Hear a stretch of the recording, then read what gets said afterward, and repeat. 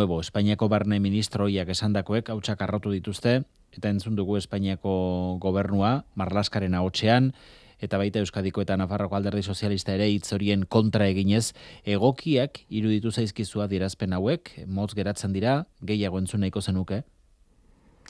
Bueno, nik uste Barrio Nuevoren hitzak e, arguiatzeaz gain, e, hitzoien atzean dagoena dela benetan e, larria den, ezta? Adirazten dutelako azken batean, zemerke atera zaion estatuari, zemerke atera zaien estatuko boterei indarkeria erabiltzea. Eta alako frivolidadez, e, alako ostasunez aitortzea, estatuak berak eh, montatutako indarkeria eh, izan dela eta erabaki politikoak eh, egon zirela horren atzean, bueno, ba nik uste dute horrek eh, aurrera begirare eskatzen duela bestelako hausnarketarik eh, hitzoietan edo hitzoien inguruan esan daitezkenaz. Arago? Noren partetik, eh, beharko zenuke edo hartuko zenuke hausnarketa hori? Bo, nik uste estatuak berak e, momenturen batean aitortu beharko duela. E, egia zein den, aitortu beharko duela gertatutakoa, aitortu beharko duela eragindako mina eta eta sufrimendua, e, uste dute momentu honetan e, bueno, ba, neurri batean e, hitz batzuk e, arbuiatzea e, nahikotzate jo dezaketela batzuek, baina horren atzean dagoen impunitatea ez dezagunaztu. Barrio Nuevok e, amar urteko kartzela zigorra izan zuela eta indultatu atera zela, bera bezalase, edo galen inguruan e, eragindako e, indarkeria horretan e, bueno, ba, auziperatuak izan ziren e, bakan hoiek bezalase, edo galindo bera, e, fin, e, igo egin zutela bere merituak e, zein izan ziren argi eta garbi jakinda. Eta, bueno, ba, aurretik ere, ba, korkuera edo Ramon Jauregi bezalako ministro hoiek egin izan dituztela antzeko adirazpenak eta, bueno, ba, horrek ere eskatzen duela.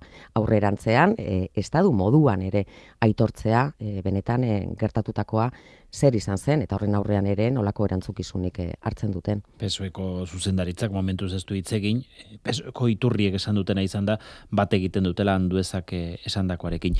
Nafakorrako parlamentuan atzo, eh, etzen posible izan, barroneuren hitzoriek gaitzesteko edo arbuiatzeko adierazpen bateraturik egitea terminologia kontu bat arteko. PSNek gaitzetzi zioen, e, zuek gaitzespena ez, baztertzea defendatzen zenuten e, arbuiatzea. Zergatik e, bere izketa hori, eta zergatik ez gaitzesteko e, erabaki hori? Bueno, nik uste batzuei erresago egiten zaiela betiko buklean e, jarraitzea, e, benetako arazoari eta fondoan, hain zuzen, e, orain esaten ari nintzen bezala, hitzoien atzean dagoenaz e, hitz egitea baino. E, batzuen helburua baldin bada atentzioa desbideratzea, hemen e, inor gutxik e, sinez dezake EH Bildu ez dagoela galek erabilitako edo estatuak erabilitako indarkeriaren e, kontra. Batzuek e, larritzat e, jotzen duten, baldin bada, adirezpinik ez egotea gure ustez larria dena da e, benetan horren atzean dagoena.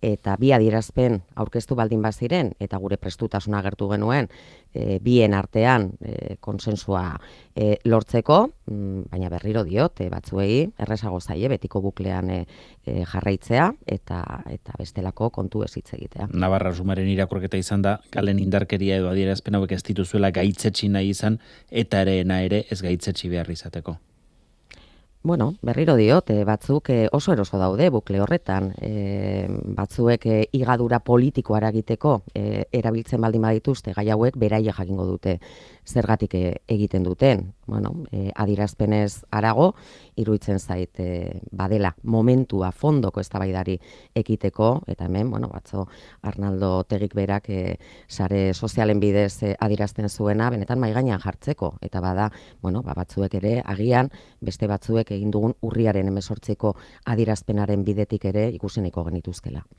Aurrekontuen inguruan, Nafarroko aurrekontuen inguruan, legealdi guztian bezala, azken aurrekonturako ere Nafarroko gobernuarekin lortu duzu akordioa, ze puntutaraino izan da aurten e, pixua egonda negoziazioan lortutakoan, eta ze puntutaraino ezinbestean gobernu honi eutxi beharrean?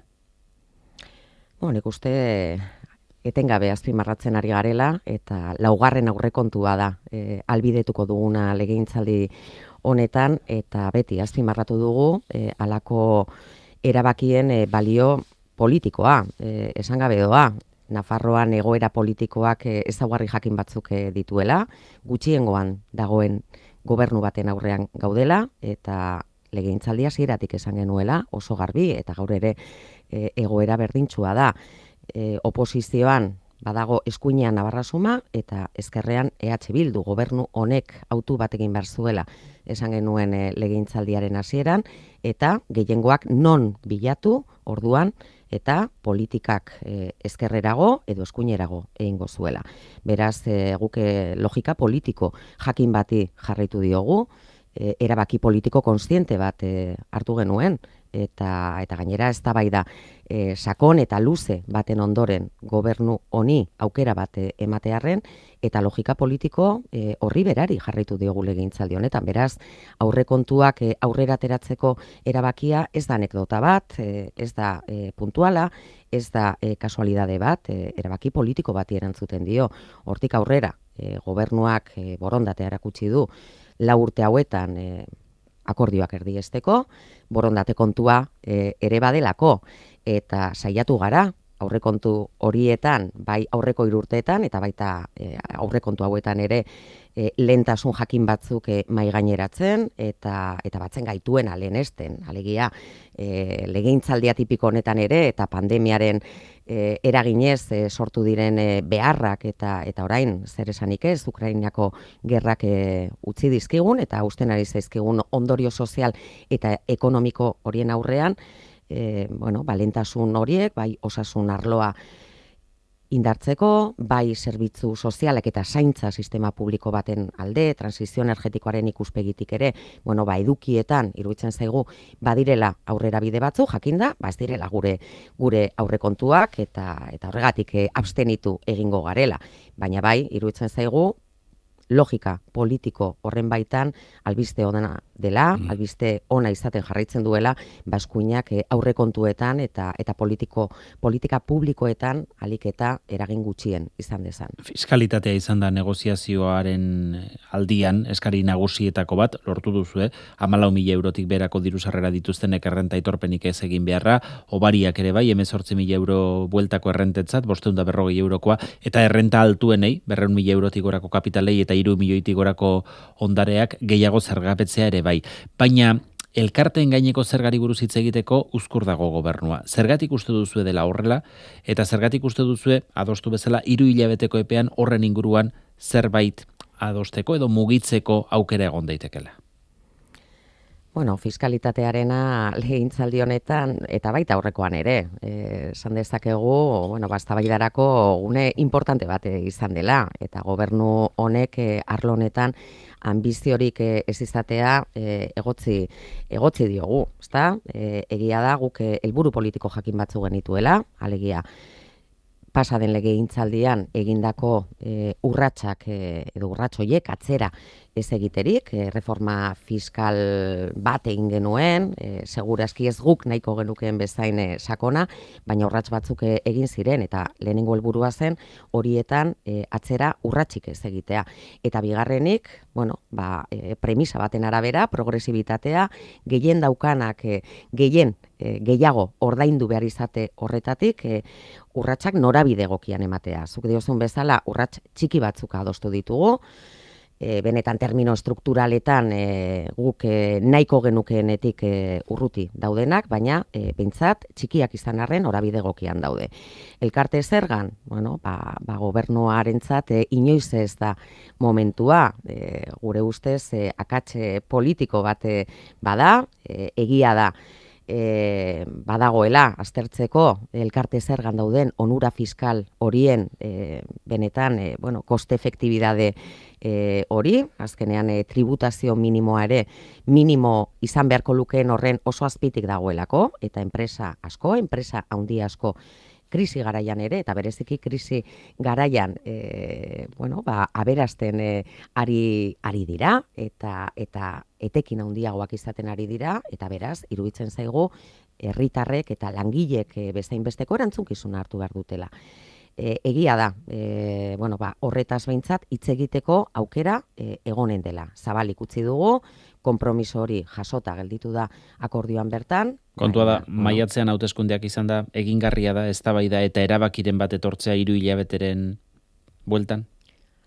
Bueno, e, ez da fiskala ez da orain amaituko, eta datozen hilabete eta urteotan e, e, jarritu barko dugu hitz egiten, e, guke e, orain arte beti esan dugu, eta batez ere azkeneko bi urteotan, bueno, ba, nola baiteko burbuliare sortzen ari dela, Europako funtsak hor daude, inflazioak eh, eragindako diru sarreren haunditzea hor dago, baina e, datozen urtei begira, erantzukizunez jokatu nahi baldin badu, edo zen gobernuk bermatu egin behar du diru sarrera nahikoa, dagoela zerbitzu publikoak, kalitatezko zerbitzu publikoak mantendu alizateko. Mm. Eta beraz, eh, horrek eskatzen ditu sakoneko neurriak, beraz, ez da fiskala orain emango da aurrekontu hauen e, eztabaidaren baitan, baina eztabaida honek e, zalantzari gabe jarraituko du datozen hilabete eta urteotan eta behintzat e, oinarri batzuk jartzea, orain erabaki sendorik espaldima dago ere, oinarri batzuk jartzen joan beharko dugu aurrerantzean ere bestelako neurriak hartzea, ezin besteko izango delako. Horretan ez dauka zalantzari. Aurreko urteetan ez bezala, aurten argazkia atera duzu, gobernuarekin. E, tabu batzuk gainditu direla esan daiteke? Bueno, nik uste konpartitu zela gobernua eta EH Bilduren artean e, laugarren aurrekontu hauek onartzeak daukan garrantzia e, horrek ere, bueno, ba, relevantzia hori mm, eman barzitzaiola e, grafikoki ere eta bueno, horretan ados egon gara denok. E, Eusko Jaurlaritzaren aurrekontuen inguruan, Pedro Azpiazu ekonomia eta ogasun sailburuarekin bihar e, egingo da bilera, ze usain hartu diozue EH Bilduren mai politikoan aurrekontu proiektu honi Jaurlaritzaren ari? Bueno, ba, ikusiko dugu zer ematen duen bilerak, e, baina edo nork bere buruari galdetuko liokena. Ezta, e, baldintzari kote dago, borondaterik baute dauka Eusko Jaurlaritzak e, benetan edo zein akordiori e, bide emateko, e, hitz egiteko, ni benetan eta aurrekoan ere e, esaten nuen, ezta? Nik e, arriduraz e, bizitzen dut Nafarrotik e, e, Eusko Jaurlaritzaren e, jarrera zein den, kontuan hartuta akordio batetik gatozela. Pasaden e, aurrekontuen e, kontestuan akordio bat lortu genuela, e, jakinda, gehiengo absolutua daukan e, gobernua dela, baina borondatea e, egon egon zen hitz egiteko eta minimo batzuen baitan e, adostasun batzuk biltzeko.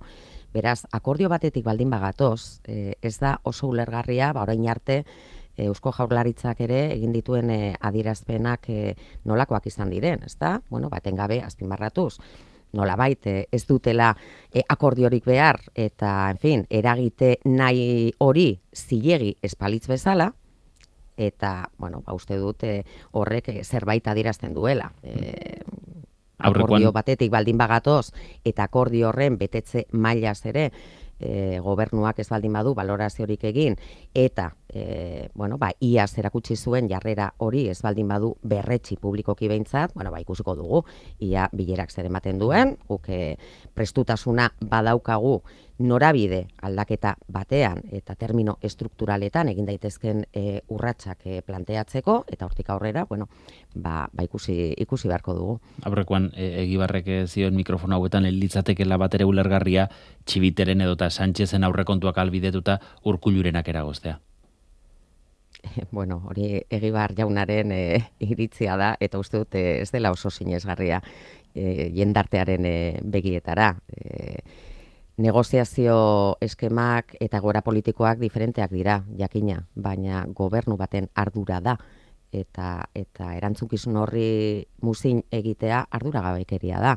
Gobernua da aurrekontuak aurrera atera nahi baldin baditu eta kasu honetan hori ez dago ez baian eaeko aurrekontuen kasuan, baina bai, e, talante jakin bat, borondate jakin bat erakustea beste indar politiko batzuekin akordioetara iristeko. Eta uste dut, e, bueno, ba juren gobernuak zerbait erakutsi baldin badu legegintzaldi honetan hain zuzen, e, ba, ez dela hitz egiteko elkarrizketarako e, borondate hori eta aurrekontuen e, testu inguruan, bueno, ba, iazkotik abiatuta bestelako jarrera espero genuen e, publikoki behintzat, e, beraz, e, bueno, ba, bakoitzak e, teilatuan e, daukan pilota beste botatzea, batzait e, zuzena eta etzait arduratsua iruditzen. Aurrekontu hauen e, negoziazioa, aurrekontu guztien negoziazioa dator hautezkunde zikloaren atarian, datorren urteko hauteskundei begira eta Nafarroako parlamentuko hauteskundei begira zehazki, e, baldin eta e, autua baldin bada eskuinak berriz ere agintea ez dezala berreskuratu,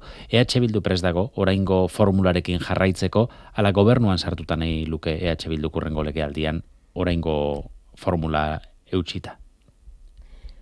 Bueno, batzuk eh, enpeinu berezia daukate, eh, hauteskundetarako sei falta direnean eh, gobernagarritasuna hitz egiteko. Eh, gu lanean ari gara, legintzaldi honen eh, amaieran eta azken aurrekontu hauek onartuta, eh, berriro diot, logika politiko jakin baten baitan, eskuinarekiko alternatiboa den eh, e, bueno, ba, bestelako gehiengo bat, e, termino aurrerakoietan eta eta ezkerrerago kokatuko dena e, horren baitan ambizio guztia jarriz, baina guk konpromiso irmoa daukagu. Ta konpromiso ez da gobernuarekin edo gobernuko indarrekin, konpromisoa herritarrekin dugu, eta guk e, hartu ditugun erabaki politiko guztiak bide horretatik e, doaz. Hori argi eta garbi, hortik aurrera.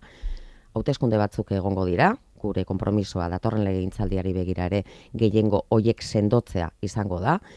Eh, EH Bildu gisa, esan gabe doa, aliketa eragin politiko gehien baldin ba daukagu, e, bueno, ba, ezkerre erago eta termino, en fin, demokratizazioaren ikuspegitik, e, bueno, ba, urratxe gehiago egiteko aukera izango dela, eta gu horretan ari gara e, lanean, hortik aurrera, herritarrek esango dute bakoitza nun kokatzen den, eta guk berriro diot eragin politiko eta determinante izango den eragin politikoa izango dugu horretan ez dago zalantzarik, ez da posible.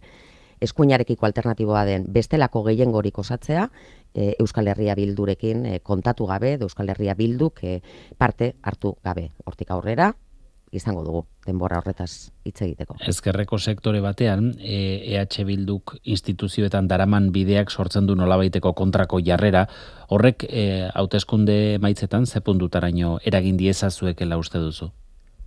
Bueno, nik e, e, azkeneko hauteskundeetan e, bai Nafarroan eta bai Euskal Autonomi Erkidegoan e, gora doan indarra dela, e, hori da agerikoa e, dena, e, ni konbentzituta nago. Sektore gero eta zabalagoetan eta nitzagoetan e, badaukagula e, erreferentzialidadea, e, jende askok e, guri begiratzen digu gehiengoak eh, artikulatzeko e, fase e, honetan eta eta uste dute erakusten ari garela e, Euskal Herria bildu akordioetan dagoenean eragin politiko determinantea daukanean, bueno, ba, herritaren herritarren e, onuran e, izaten diren neurriak hartzen direla. Hortik aurrera, e, bueno, ba, guke lanean jarraituko dugu, orain arte bezala, ba, sektore, sozial, politiko, sindikal, alik eta e, zabalenekin e, adostasunak biltzen eta sinergiak e, biltzen saiatzeko. En bide batez EH Bilduren hautagaitzetan ze toki izango dute EAko kritikoek. Uneotan e, parlamentuko maiko kide den Maior Garramirezen militantzia bertan bera utzita dago esate baterako, ez da arazorik izan legialdi hontan EH Bilduko kide izaten jarraitzeko, baina urrengo zerrendetan? Bueno, ba, ikusteko dago, e, inork ezin du espero Euskal Herria Bilduren baitan, edo Euskal Herria Bilduk e, ea barruko e, gatazka konpontzerik, batez ere afera epaitegietan dagoenean, beraz e, hortik aurrera, eta nik e, surtzia guztiz, e, bueno, ba, uste dute datozen hilabeteetan argituko direla kontu horiek. E, datorren larun baterako, manifestazioa deitu da duzue, Bilbon e, abante izenen edo lelopean, EH Bildu deitu du, zer da zehazki manifestazio horren bidez aldarrikatu edo plazaratu nahi duzuena? Bo, nik uste lehenek eta behin e, hausnarketa bat e, egin behar dugula, ezta? Eta da bizitzen ari garen e, egoeran kalera ateratzea ere beharrezkoa dela. E, irakurketa bat egiten ari gara ikasturte hasiera honetatik e, bertatik. Eta bada, bueno, ba, krisi batean murgilduta gaudela, krisi anitz eta strukturaletan murgilduta gaudela eta eta bueno, ba, bai Ukrainako gerrak, bai e, eliten mesedetan hartzen ari diren hainbat eta hainbat erabaki, e, klima aldaketarekin lotutako hainbat e, faktore, baz direla fenomeno meteorologikoak, baizik eta erabaki jakin batzuen ondorioak pairatzen ari garela eta hori herritarrok eta e, Euskal Herriko herritarrok e, bizitzen ari garen e, errealitate bat badela bizitzaren garestitzea eta herritarren gehiengoaren e, kaltetan e, doana. Beraz, e, bai iruditzen zaigu etxipenean nahi gaituztela eta etxipenaren aurrean e, argita garbi e, Euskal Herria bildutik e, esan nahi duguna da, herri honetan badirela alternatibak e, gaurdanik ereki behar ditugunak eta eta krisi guztietan bezala ez dago lerten bide individualik, irtenbideak e, kolektiboak direla. Eta komunitatearen garrantzia e, guretzat e, ezinbestekoa dela, hori delako gure gure aterkia. Eta beraz ba, Bilboko kaleetan eta konbentzituta nago izugarrizko manifestazio izango dela, e, erantzun kolektiboak e, aldarrikatuko ditugu, e, abante hitza hori ere ez da kasualitatea, ez da? Herri honek badauka indarra, badauka energia kolektibo nahikoa altxatzeko, irtenbide kolektiboak bilatzeko, eta eta irtenbide horiek eh, hain zuzen Euskal Herritik eta Euskal Herrian bilatzeko. Beraz, e, bueno, bairuitzen zaite e, abia puntu importantea izango dela, ba, olatu geldi ezina ditugun hori altxatzeko. Izango da neurgailu bat, EH Bilduren militantzia ze puntutaraino dagoen aktibo ikusteko? bueno, manifestazioak edo dozen mobilizazio beti dira neurgailuak, ez da? Nik uste pasaden urtean e, Bilbon e, bertan egin genuen e, manifestazioak eman zigula gure komunidadearen e, bueno, ba, sentipenaren e, termometro, alako termometro bat, eta urten ere konbentzituanago bide beretik e, joango dela. E, Euskal Herria Bilduren e, komunitatea sendoa da, e, behar dugu ere berrelkartu, iaz ere horretan kokatu genuen e, manifestazio horren e, muina eta momentu honetan ere eta krisi garaian iruditzen zaite bueno, ba, gure gure komunidade hori kalerateratzea importantea dela e, behar duelako eta komentzituan nago ikusiko dugula irudi hori datorren larun batean. Bakartxo Ruiz, EH Bilduren bozera malea, eskerrik asko gaur Euskadi Irratian izateagatik. Mi esker zuei.